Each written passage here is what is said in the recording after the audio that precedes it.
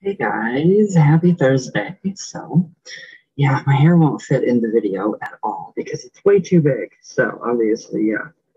All right, what did you guys think of yesterday's uh, Jesus's uh, Libertine Circle? I thought that was pretty intense. Um, I thought it was pretty, you know, perverse a little bit, maybe.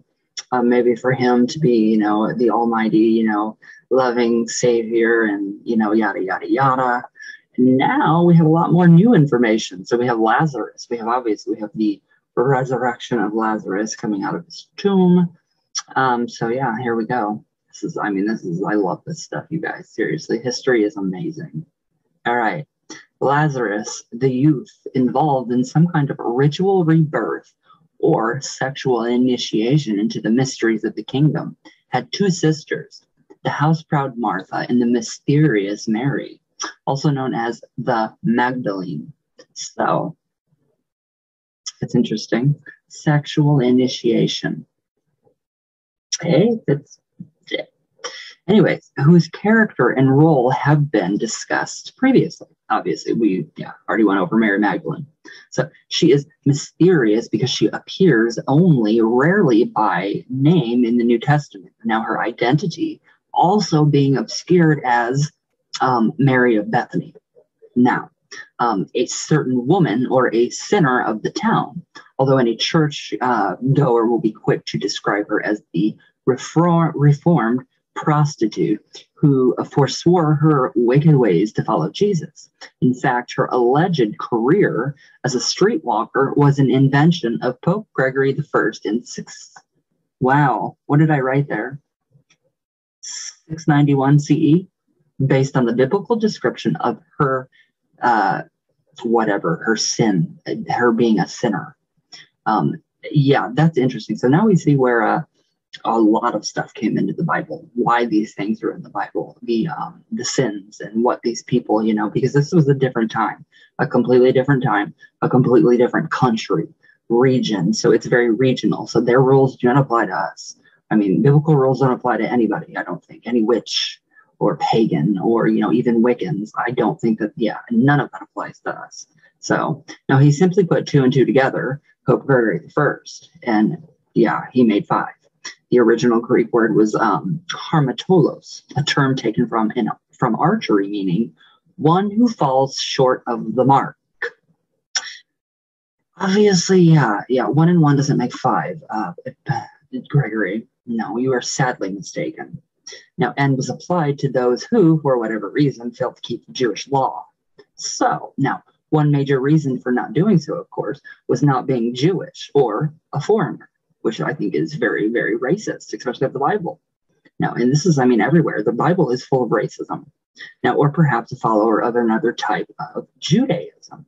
So there is evidence to link Mary Magdalene primarily with Egypt and possibly with the ancient goddess called of Ethiopia, not only did the church vilify her as a whore, but the writers of the um, can- canonical, canonical gospels clearly set out to uh, basically um, marginalize her.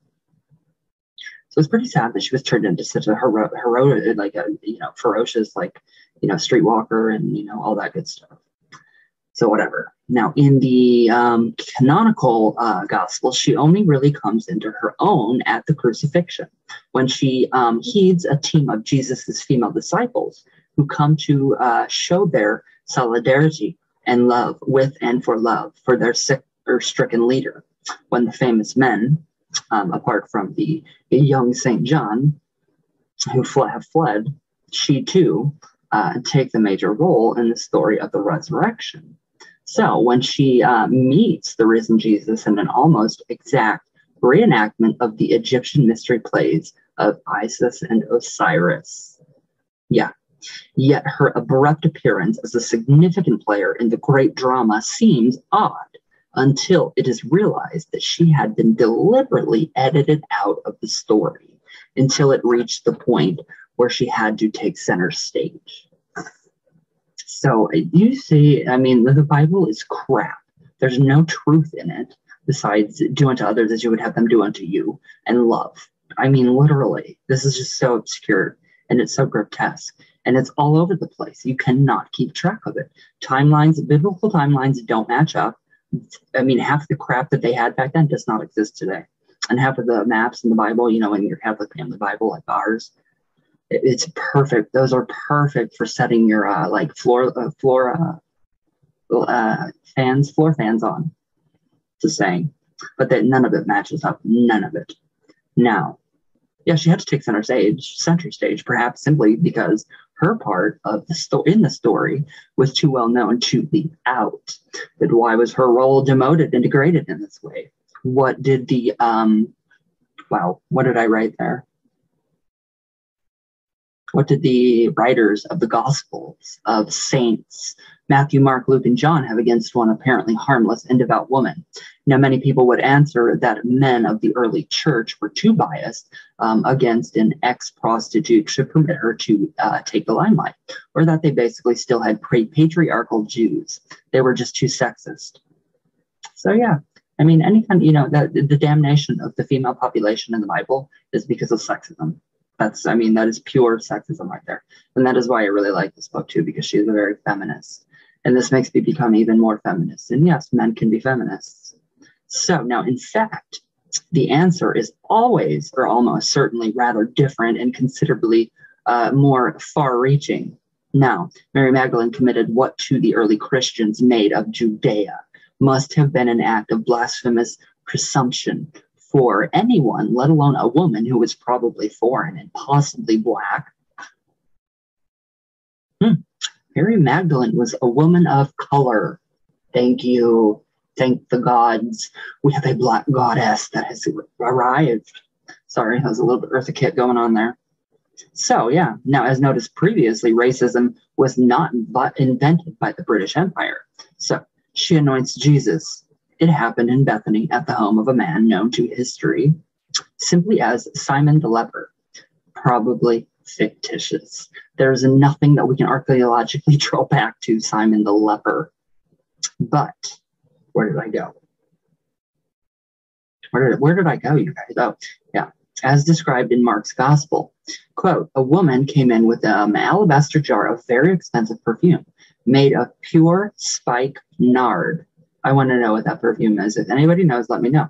She broke the jar and poured the perfume on his head. Now, some of those present were saying um, indigently to each other, Why this waste of perfume? Really? Really? It could have been sold for more than a year's wage and the money given to the poor. And they uh, rebuked her harshly. Okay, well, at least we're thinking about the poor. But in Luke's gospel, the unnamed woman anoints his head and feet and also dries them with her hair. We have a little bit of Judas going on here. Now, but it is, or, but it, the men, if the men's objection was intended to provoke praise and gratitude from Jesus, it failed utterly. Um, yeah, it did fail utterly. Instead of congratulating them on their wisdom and concern for the poor, their reader says vehemently. We will continue tomorrow. It's just, I mean, it, it's getting so sexist and so racist that I don't know if I can continue this, but I can definitely continue on with why it's, you know, completely wrong and, you know, completely obscured and ridiculous. So, anyways, let's do some coffee talk because it's been forever. So, as you guys know, my book will be out um, in 2022 and I'm very excited for it. It's going to take me a couple months to edit. Now I have it, you know, in my book format. I have the cover, so yeah, um, I just have to edit it. So it's going to take me a couple more months. So it'll be like uh, the middle of 2022. If I'm remembering, if this is 2021 already, yeah, this is 2021. I'm like, wait, what is this month? or what is this year? It's very different. Okay. Let me see. Where are my comments? All right. Uh, Metal Magic and Mayhem. Hello. I love the Secret History of Lucifer and can't wait to read her other books. I know she has a lot, and I am so excited. I am so excited.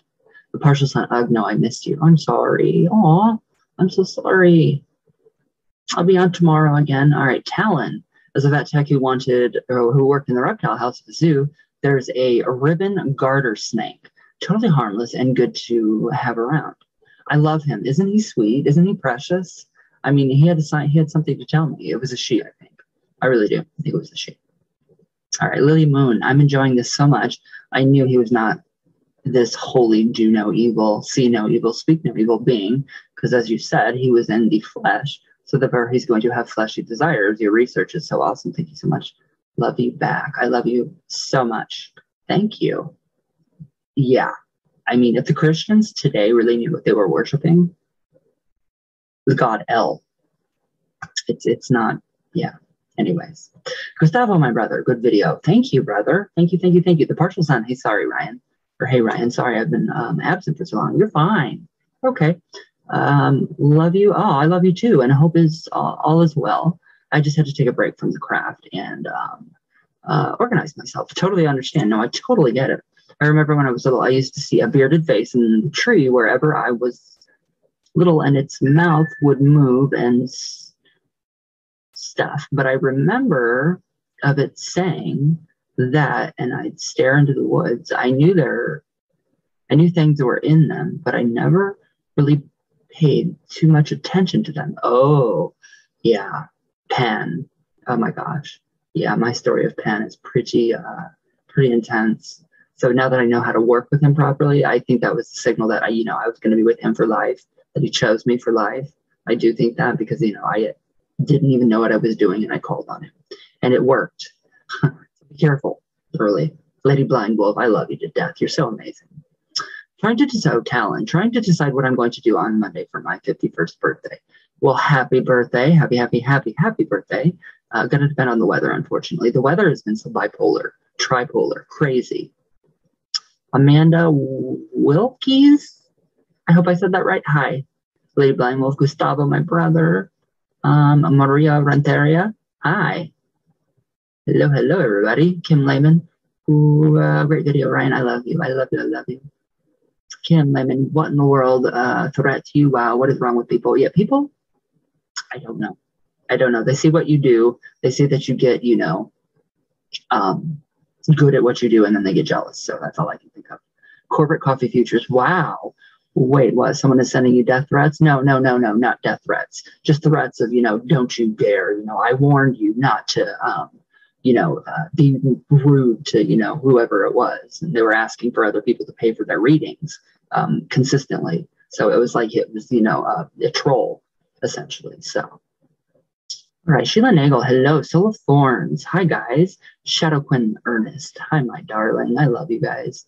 Of the way or of the how or why of me, truly a holy enigma I am. You are amazing. I love you. Careless. Hi. Lady Blind, Soul Thorns. Who else? Carlos uh, Colin, hello. Hello, hello.